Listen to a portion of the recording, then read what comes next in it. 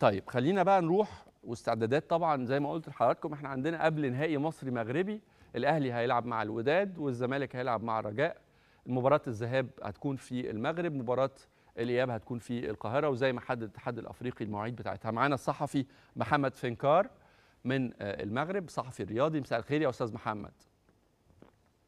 مساء الخير كابتن أحمد سمير ومساء الخير مشاهدي قناة الأهلي. أهلا وسهلا بيك معانا. بداية كده نعرف أجواء الاستعداد عندكم إزاي بتبصوا لمباراتي قبل النهائي اللي هتجمع بين الأهلي والوداد والزمالك والرجاء البيضاوي.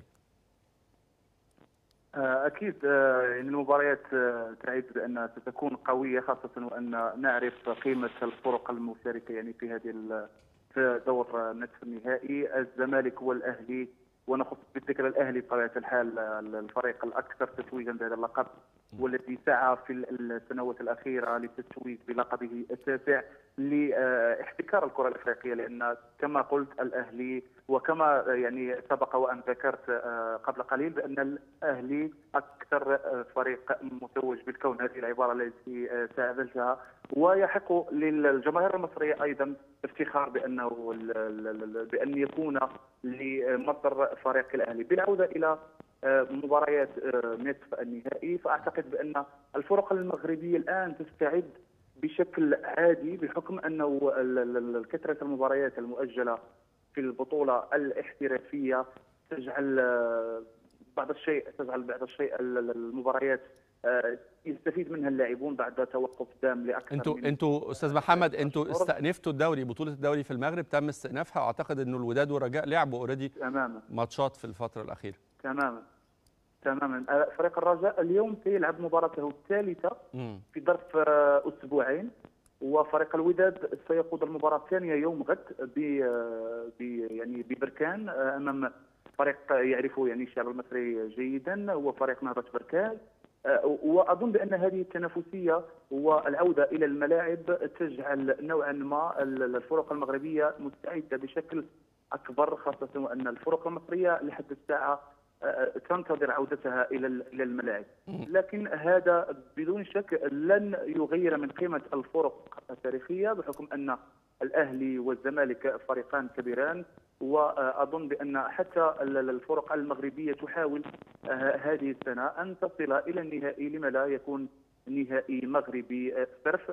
آه هذا يعني لا يعني يمس بقيمة الفريقين المصريين. طب في في فيما يتعلق أستاذ محمد إلى فيما يتعلق بالمباراة نفسها يعني لو اتكلمنا على مباراة الأهلي والوداد هل إدارة الوداد آه. حددت الميعاد الخاص بالمباراة تم الاستقرار عليه؟ هل تم الاستقرار أيضا على الملعب اللي هيستضيف المباراة بشكل نهائي؟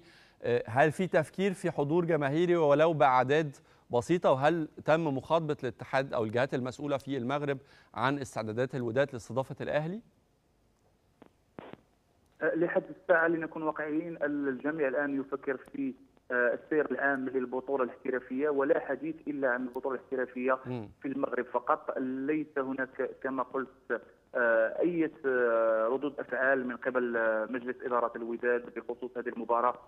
لا لا يعني على صعيد الجماهير أو على صعيد الملعب المستضيف للمباراة. لكن التوجهات تؤكد بأن المباراة ستلعب على أرضية مركب محمد الخامس الشهير ولن يكون فيها حضور جماهيري بحكم أن الفيروس فيروس كورونا يمنع لحد الساعة حضور الجماهير وحتى الأرقام الأرقام الكبيرة التي بدأت الآن تنتشر على الصعيد المغربي. فأظن بأنه لا لن يكون بمقدور الجماهير متابعة مباراة الأهلي المصري والوداد بمدينة الدار البيضاء. لأنه هذا كما كما قلت التوجه العام للجامعة أو للاتحاد المغربي الذي قرر رسميا وحتى الجهات المسؤولة يعني السلطات المحلية وحتى وزارة الداخلية ووزارة الصحة تمنع منعا باتا حضور الجماهير المغربية إلى أو في الملاعب الوطنية. أزمة كوفيد 19 أو فيروس كورونا إزاي ممكن تشوف إنها يعني تلقي بظلالها على مستويات وأداء فرقة الوداد في مباراتي قبل النهائي من وجهة نظرك وهل من الممكن إنه امتداد الموسم أو طول الموسم السنة دي هيأثر حتى من الناحية التعاقدية هل ممكن المباراة تشهد غياب مثلا بعض لاعبي الوداد عن مباراة قبل النهائي؟ وبالنسبة يعني للتعاقدات فالجامعة منحت يعني وقت كافي للفرق المغربية لإبرام تعاقداتها خلال هذا الصيف. لكن هناك مجموعة لنكون صريحين مجموعة من المشاكل بالنسبة للاعبين مع الفرق بحكم أن يعني بعض اللاعبين في عقودهم عقودهم يعني انتهت مع نهاية ولا ما تم يونيو الماضي. وهناك يعني الحديث عن هل سيتم تجديد اللاعبين أم سيتم التوجه إلى الفيفا من أجل الحسم في هذه الأمور. لكن أتوقع بأنه الفرق يعني ستشارك أو ستلعب مبارياتها بشكل عادي بغياب أو بحضور لاعبيها الأساسيين. لأنه على سبيل المثال اللاعب محمد النهيري آه الذي انتهى عقده تم يونيو الماضي لم يعد يدخل ضمن آه مفكرة الإسباني خوان كارلوس غاريدو. آه ولا يشارك لم يشارك حتى في المباراة الأولى وحتى آه يوم غد لن يشارك في المباراة الثانية. جاريدو كان مدرب سابق للأهلي. هل بتشوف إن ده ممكن يكون ليه تأثير على مواجهة الأهلي مع الوداد؟ الفريق الأهلي يعني فريق كما قلت والعالم يعترف بذلك. فريق كبير له هوية كبيرة له ثقافة كروية. ليست محدودة يعني لا ترتبط بمدرب ما أو بلاعب ما. لكن جاريدو نجح في هذه الخطى مع الوداد بعدما يعني لعب مباراة ربع النهائي أمام النجم الساحلي الذي كان يدربه أيضا وعرف مفاتيح التأهل وفاز في الدار البيضاء بهدف إلى صفر وعرف كيف يتأهل من ملعب رادس بخسارة بهدف بهدف واحد.